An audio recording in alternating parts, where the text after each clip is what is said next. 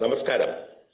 Left cyber commune അവതരിപ്പിക്കുന്ന ദേശാഭിമാനി മുഖപ്രസംഗം വായിക്കുന്നത് പ്രദീപ് തിരുവല്ല.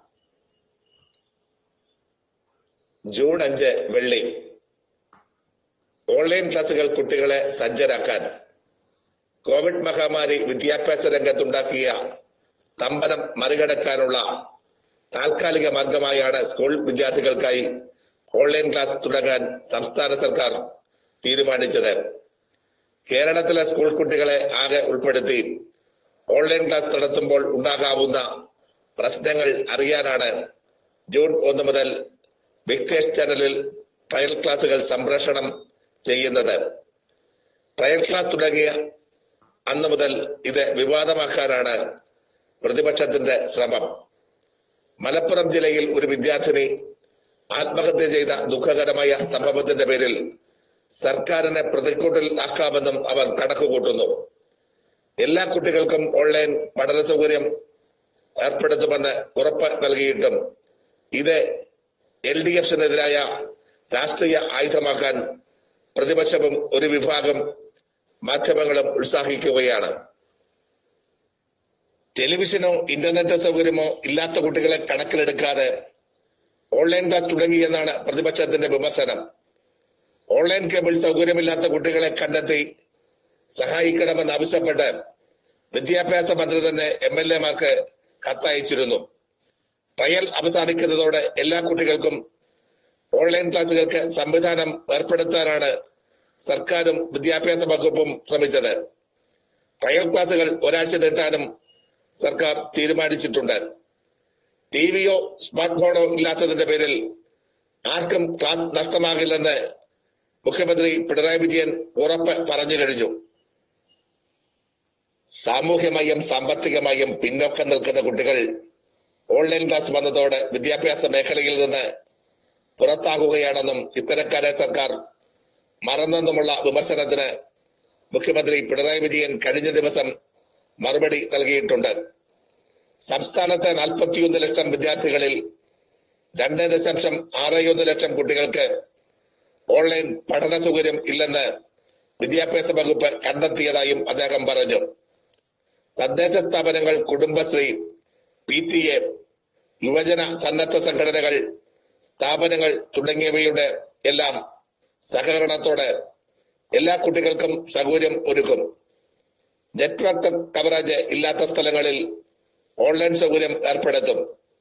ഓൺലൈൻ ക്ലാസുകൾ സ്കൂൾ പഠനത്തിന് ബദലോ സമാധാനമോ അല്ലെന്നും പഠനം ക്ലാസ് മുറികളിൽ തന്നെയാണ് നല്ലതെന്നും മുഖ്യമന്ത്രി പറഞ്ഞിട്ടുണ്ട്.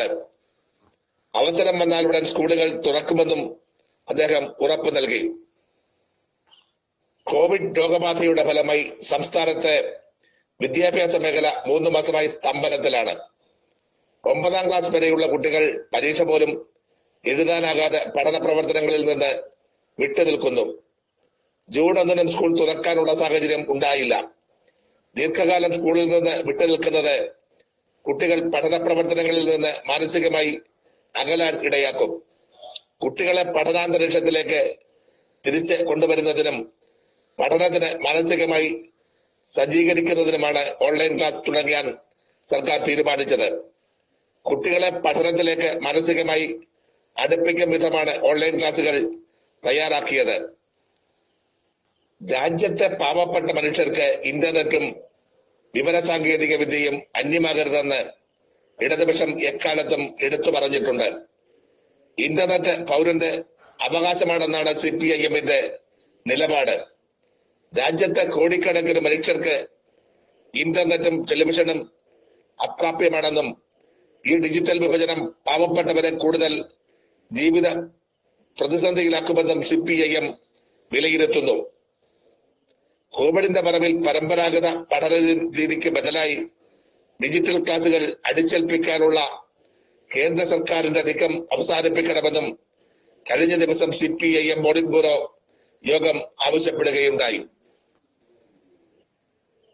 പാവപ്പെട്ടവരെയും സാമൂഹ്യമായി പിന്തള്ളപ്പെട്ടവരെയും വിദ്യാഭ്യാസത്തിൽ നിന്ന് അകറ്റാനല്ല അവരുടെ അക്കാഡമിക് പ്രവർത്തനം മുടങ്ങാതിരിക്കാനാണ് കേരളത്തിൽ ഓൺലൈൻ ക്ലാസുകൾ ആരംഭിക്കുന്നത്. പാവപ്പെട്ടവർക്ക് വേണ്ടിയാണ് പൊതുവിദ്യാഭ്യാസത്തെ ശക്തിപ്പെടുത്താൻ എൽ ഡി എഫ് സർക്കാർ പരിശ്രമിക്കുന്നത്. സംസ്ഥാനത്തെ എല്ലാ കുട്ടികൾക്കും ഡിജിറ്റൽ സൗകര്യം ലഭ്യമാക്കുകയും അതുവഴി വിദ്യാഭ്യാസ പ്രവർത്തനങ്ങളെ കൂടുതൽ സർഗാത്മകം ആക്കുകയാണ് ലക്ഷ്യം. ക്ലാസ് മുറികളിലെ പഠനം തന്നെയാണ് കുട്ടികളെ മികവുറ്റരാക്കി തീർക്കുക. പഠനം സൃഷ്ടിപരവും സർഗാത്മകവും ആക്കാൻ ഓൺലൈൻ സംവിധാനങ്ങൾ ഫലപ്രദമായി ഉപയോഗിക്കാൻ സാധിക്കണം. ഇതോടെ മുഖപ്രസംഗം പൂർണമാകുന്നു. അഭിവാദ്യങ്ങൾ.